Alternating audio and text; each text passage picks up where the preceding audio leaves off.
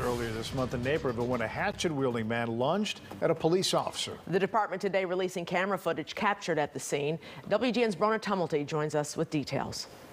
This scene went quickly from a traffic stop for a minor violation to an attack on a police officer by an uninvolved party. That's Naperville Police Chief Jason Arres speaking in a video released today regarding a deadly officer involved shooting earlier this month. Any loss of life is tragic, and our thoughts are with the family of the deceased. The man killed has now been identified as 28 year old Edward Saman, and we're getting a closer look at what happened on the 3rd of June. It was around 11am when a 22 year veteran of the Naperville Police Department pulled someone over near the intersection of Bond Street and McDowell Road.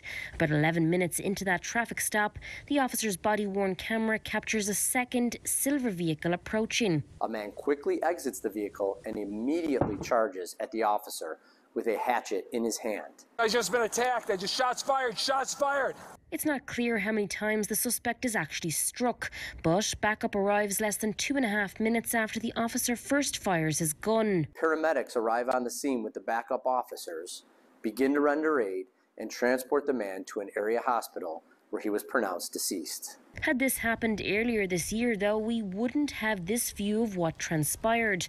Because while Naperville police cars have had cameras since 2014, body worn ones just started being issued. The Naperville Police Department just last month began issuing body cameras to its officers.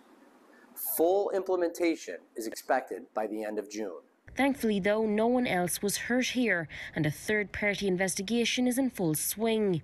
An independent investigation into this incident is currently underway by the DuPage County Merit Public Integrity Team and the DuPage County State's Attorney's Office. Brónagh Tumulty, WG.